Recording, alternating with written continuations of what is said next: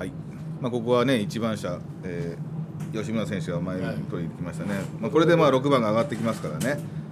なんかあのチューブが前受けということで。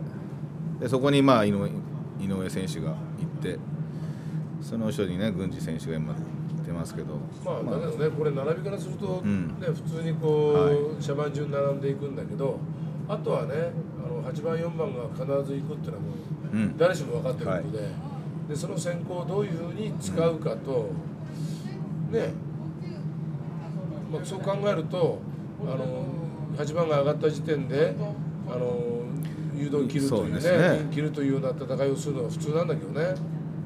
6番ももうちょっとねあそこ粘って踏んで、ん。ね頑張ればいいのにと思うね。西村浩太選手も今もうこうちょっとずつこう追い込みに変わってきたの。こういう時になんかこう見せ場作ってほしいですけどね。うん。ただただ流れるレースにの走らずに。うんなんか主張するとかですよ。そう。ね、そうするとまた違うレースでもこう周りの選手の見見るのも変わってくるんですけどね、だからなんかこう見てると淡白に見えるね、ん。こうレースに対して。もうちょっと。まあ、ここでね、まあ、周回重ねていって、まあ、最終的にはやっぱり後方にいる8番の河合選手が動いてくると思うんですけどやっぱり郡司選手もこの辺りやっぱ隙がないですねやっぱり、うん、これだけどねあの橋あもしねこうどこにいても分かりやすいのは分かりやすいんだよね。あの8番が来るからどうやって8番の3番で取ろうかって考えればいいわけだから最初にね。でそれがねあの西村なのか井上なのか郡司なのかっていうことだからなんだったら番手行ってもいいぐらいよ。ね。西村なんかまあ、ここで今8番の河合選手がね。てて、まあまさにね。後ろ見てないからねもう。今見ましたけどね、うん、全然気にしてないもん、前に任せてるのかどうか知らないけど。で今度はあのー、8番が行く時もついていかないし、これでもついていったらやっぱ郡司といや軍事と並走になっても、まあ、それはねやっぱり、まあ、調子がいいからだろうけどね。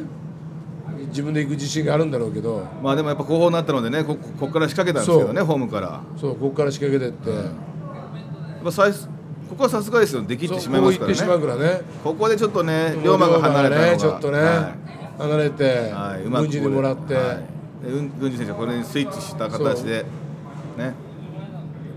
まあここで今郡司選手休んでますけどね、まあ、一息ついて、はい。ね、まあ、当然これねもう後ろもらえるから正木もね、まあ、ちょっとね、あの距離が長すぎたね正木にしたら。最後 4, 着4番のあの尾崎選手まで行かますからね。ねうん。まあ打賞過ぎてから2センターからじゃちょっと長いのかなというね、まあでもあそこ龍馬がついていってたらもうちょっと変わってましたからね。ついてすんなりね、あの3人2人できてしまえば、あの軍事もねそんなに簡単にいけないし、あの後ろから全部連れていくってことはないだろうけどね、まあ龍馬が少し邪魔になりますからね郡司選手はね。ちょっともったいないなというね、さあ東子ちゃんはどうでしたかこれ。はい、外れました。はい。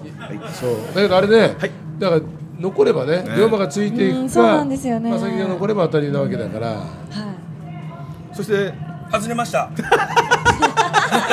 なんか自信満々言ってるね。絶対来るだろう